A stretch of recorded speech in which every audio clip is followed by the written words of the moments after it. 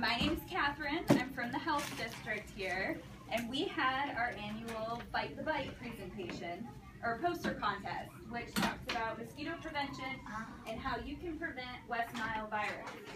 And so we had a submission from Evyn Fox. Where's Evyn? Oh, there you are. Okay.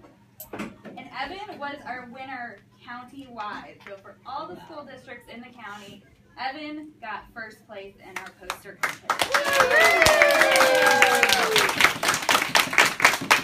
So we do have some gifts for Evyn.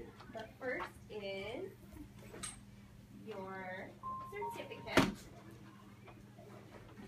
signed from the health district. Got it. Got it?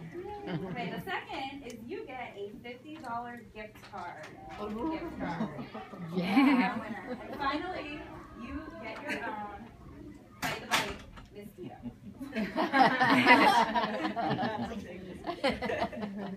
And do you have a, co- do you have? And so here's Evyn's poster. And do you want to explain it just a little bit to your class? Sure. Um, well, this is Lovely Lola, and great grandmother who passed away from West Nile. And her, er, like, she used to love squirrels. She had, she used to name them. And, uh, yeah, and then over here I did, uh, well, the boxing gloves I've heard of quite so. And then over here I put everything to prevent West Nile because it is a very serious cause. And it says Lola's laws to prevent West Nile. Clothing in mosquito-infested areas. Be very careful when uh, you go outside early in the morning and late at night. And finally, wear bug spray anytime you're outside. And then um, I just uh, I made a little mosquito with the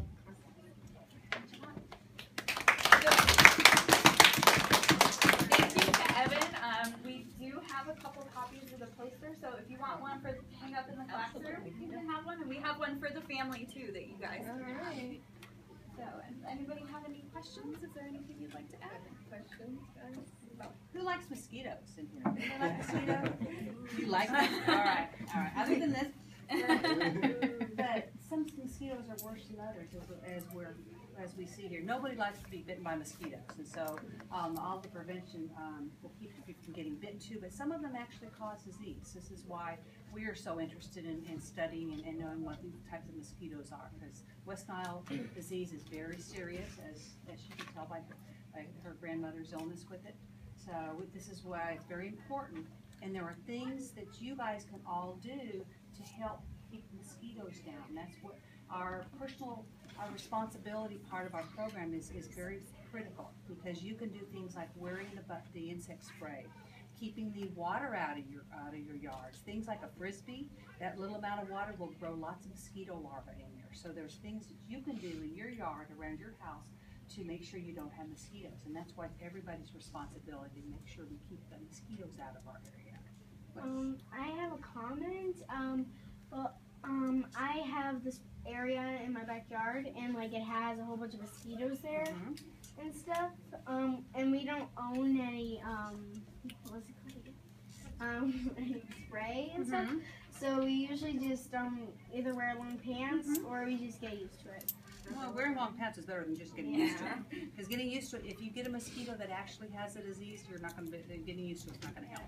Probably it's a bad thing for me because um they're really attracted to my kind of blood and stuff. So it's kind of And also the thing that if you have like a low area like that, you can just make sure you put some dirt in it so it's not holding water. So that's what, that's one of those things, that just doing things in your own property to make sure the mosquitoes aren't growing.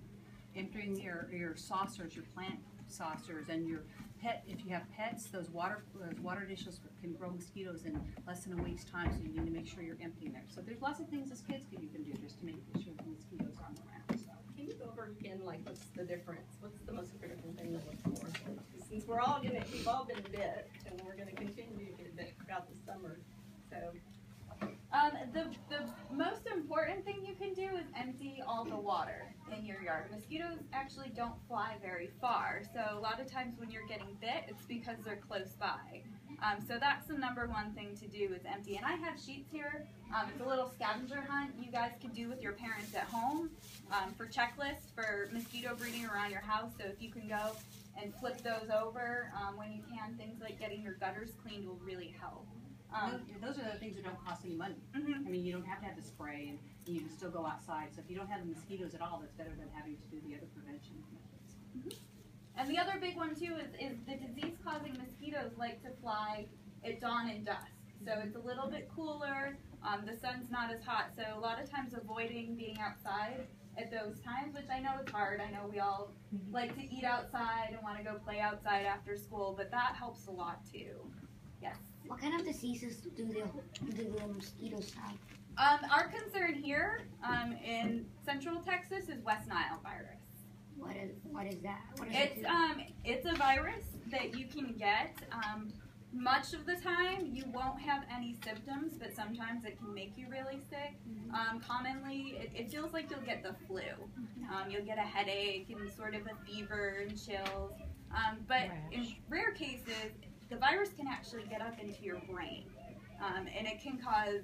Sometimes it'll cause death. Um, a lot of times it can cause really severe effects.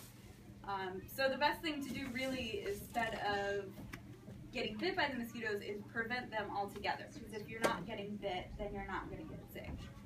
Yeah, and just be aware of those symptoms because um, Evyn's great grandma, that was, I think she kind of thought, and so she did. She had a headache, a rash. A rash and so what happened chest. then is it, it did, it, it affected, and she developed another type of illness. And so she just, and especially elderly and younger, you know, children, that's where it's, it's pretty scary. So, and there was, um, in the same town that Evyn's grandma was at, um, there were three people in the span of three weeks who had died from West Nile. So it is really, really important. And I just heard that there was um, something released that somebody in, in the state of Texas just contracted West Nile.